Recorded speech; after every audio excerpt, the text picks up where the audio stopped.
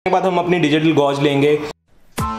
Press the bell icon on the YouTube app and never miss another update. So hi guys and welcome back to my channel the DIY Jugaad और मेरा नाम है वैभव। सो so, आज का video होने वाला है how to fix puncture in 5 minutes at your home so puncture लगाना बहुत ही ज़्यादा सिंपल है बट हम में से 90 परसेंट या 95 परसेंट हंड्रेड परसेंट लोगों को ये नहीं आता होता। सो so, ये एक डी प्रोजेक्ट है डू इट योर सेल्फ और आप इसको अपने घर पे खुद कर सकते हैं बड़े ही आराम से। और ये इमरजेंसी सिचुएशन में बहुत काम आता है, जब आपका पंचर हो जाता है सो आपको पंचर वालों की तरफ़ भागना पड़ता है। और अगर आप एक राइडर हैं लॉन्ग राइड्स पे जाते हैं सो पंचर किट तो आपके पास होनी ही चाहिए। और ये है वो पंचर किट। और ये किट आपको मार्केट में अराउंड हंड्रेड से वन फिफ्टी रुपीज़ में मिल जाएगी। और अगर आपको एक किट खरीदना है तो डिस्क्रिप्शन में लिंक्स हैं, आप वहाँ से खरीद सकते हैं। तो इस किट में दो टूल्स हैं पंचर लगाने के लिए और साथ में फाइव स्ट्रिप्स हैं। सो तो मतलब वन फिफ्टी की भी अगर आपको मिलेगी तो थर्टी रुपीज़ पर पंचर पड़ा और ये टूल्स तो आपके बाद में भी काम आएँगे। और साथ ही साथ जो ये स्ट्रिप्स होती हैं मार्केट से एक्स्ट्रा भी मिल जाती हैं। सो पंचर लगाने के लिए कुछ ये चीज़ें चाहिए होंगी। एक किट जैसा कि मैंने आपको बताई दी है। साथ में एक हवा भरने के लिए पंप चाहिए होगी। साइकिल वाला पंप है, या आप डिजिटल टायर एंड फ़िल्टर भी ले सकते हैं। और इसके साथ दो अटैचमेंट्स है, एक सिगरेट लाइटर पोर्ट और एक डायरेक्ट बैटरी के टर्मिनल्स पे लगाने के लिए। और साथ ही साथ यहाँ पे मेरे पास एक बहुत ही क्यूट सा प्रोडक्ट है यहाँ पे digital tyre pressure gauge so इसको खोलते हैं पहले। सो ये वो गेज है और ये बेसिकली आपको टायर के अंदर एयर प्रेशर जाने में हेल्प करेगी और साथ ही साथ इसमें डिफरेंट यूनिट्स भी हैं। पीएसआई बार और, और किलो पास्कल्स में आप टायर प्रेशर मेजर कर सकते हैं। और इस प्रोडक्ट की कॉस्ट है अराउंड दो सौ से तीन सौ रुपए और आप इसको परचेज कर सकते हैं गेयर से। सो अगर आपको खरीदना है तो आपको इसका लिंक और डिस्काउंट कूपन दोनों डिस्क्रिप्शन में मिल जाएगा। वहाँ से इसको खरीद सकते हैं। और last but not the least थोड़ा सा आपको पानी चाहिए होगा।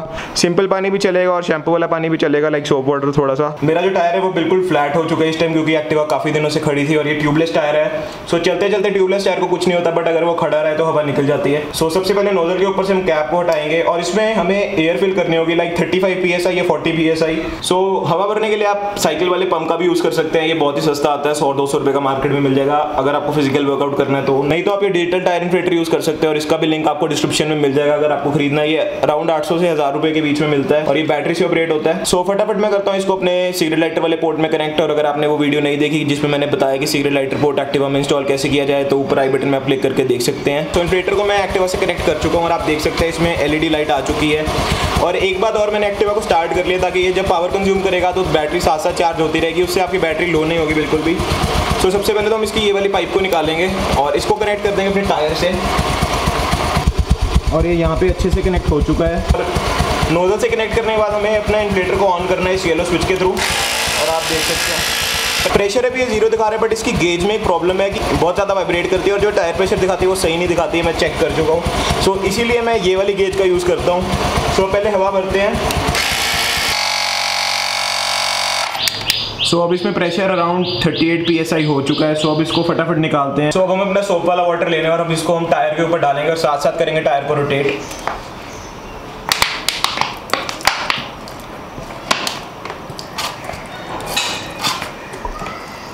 सो फाइनली यहाँ पे एक मुझे नेल मिला जो इसके अंदर था और इसने बिल्कुल टायर को कवर करके रखा हुआ है बट हल्के हल्के से बबल साइड से निकल रहे हैं जो शायद कैमरा में ना विजिबल हो आई गेस और तभी हवा बहुत टाइम के बाद ली करी है. सो एक तो पेंचर हमारा ये हो गया और इसी तरह हम दूसरा भी कोई पेंचर होगा तो लोकेट कर लेंगे उसको. और जहाँ पे भी पंचर होगा, वहाँ से आपको एयर बबल्स दिखने बाहर आएँगे. सो सोप वाटर लेने का यही कारण है कि एयर बबल्स आपको क्लियरली विजिबल हो जाएँ और इतने छोटे पंचर में सोप वाला वाटर ही काम आता है. सो बस यही पंचर है इसमें। सो अब हमें अपना प्लास लेना है और इस नेल को हमें बाहर पुल करना है और बहुत ज़ोर लगेगा इस पर और साथ में जो आपको इसमें टूल मिले, जो बिल्कुल आगे से प्लेन है, उसको इसके अंदर डालेंगे ताकि होल को हम अच्छे से बड़ा कर ले और उसमें जो हमारा पंचर वाली स्ट्रिप है, वो अच्छे जा सके।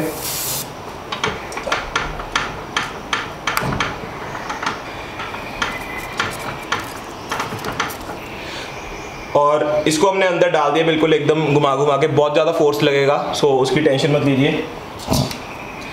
अब साथ में हमें अपनी एक स्ट्रिप लेनी है पेंचर वाली। उसको निकाल लेंगे हम बाहर शीट से।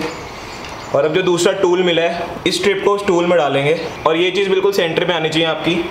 सो एकदम ही हम इसको बाहर निकाल लेंगे। और इसको अंदर डाल देंगे।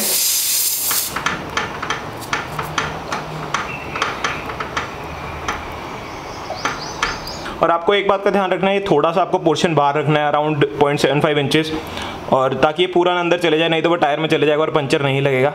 सो अब आपको इसको एकदम से पुल कर लेना है और आप देख सकते हैं ये निकल चुका है और हमारा पंचर है वो लग चुका है। सो so, जैसा कि आपने देखा मैंने एकदम पुल किया और टूल बाहर आ गया बिना पेंचर वाली स्ट्रिप कटे।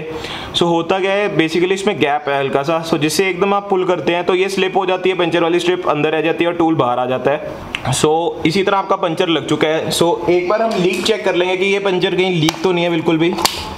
और आप देख सकते हैं बिल्कुल भी एयर बबल्स नहीं है। और रही बात इस चीज़ की पार्ट एक्स्ट्रा है वो अपने आप रिजॉल्व हो जाएगा सड़क पे और आपका पंचर एकदम सही से लग जाएगा। सो so, पंचर लगाने के बाद हम अपनी डिजिटल गॉज लेंगे और एक बार क्लिक करेंगे और इससे मेयर करेंगे हम टायर प्रेशर सो so, ये भी 17.5 पॉइंट दिखा रहा है जैसा कि आप देख सकते हैं। और अब हम इसमें इन्फ्लेटर के थ्रू एयर फिल कर देंगे।